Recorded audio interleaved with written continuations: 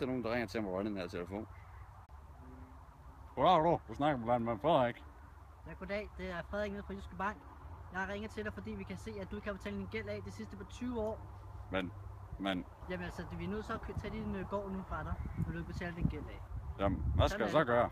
Ja, så må du gå ud og finde dig et arbejde. Et arbejde? Ja. Hvad er det? Ja, det er sådan, sådan hvor så arbejder man, så gør man lidt eller andet, og så får man penge tilbage. Det er meget populært i København. Okay, det prøver jeg så. Ja, gør du det. Fuck him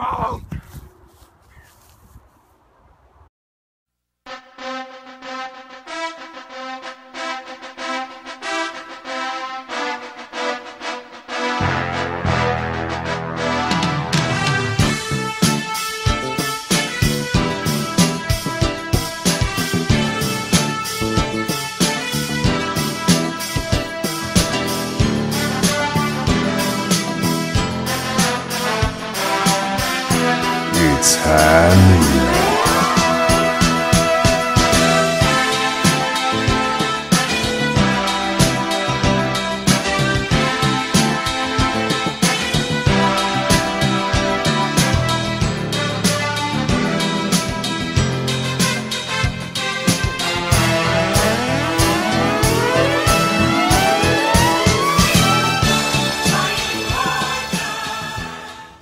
Ah, kan jeg vide, om han har et arbejde? Hey, hvad laver du her, mand? Skal du have noget græs, eller hvad? Nej, det ved det, det gør jeg ikke mere. Nå, uh, jeg har forstået, at du er branchen. Nå, så har jeg ikke noget til dig. Bare skriv.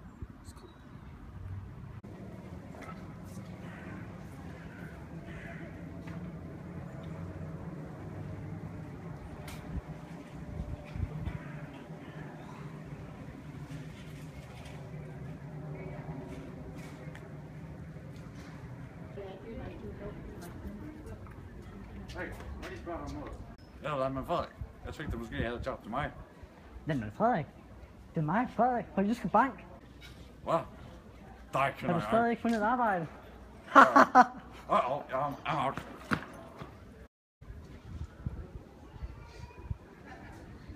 Der er aldrig nogen, der giver mig et job.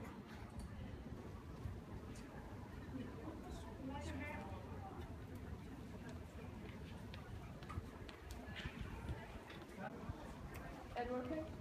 Er aldrig nogen, der giver mig et job. Vent, vi har da en ven, der har et job. Vil du ikke møde ham? Jo. Jo, kom. Så møder vi Kai. Ja. Yeah.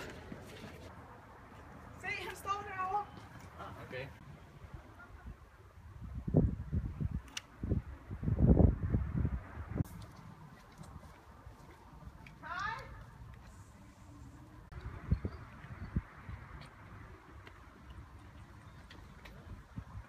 Jeg har et job til mig.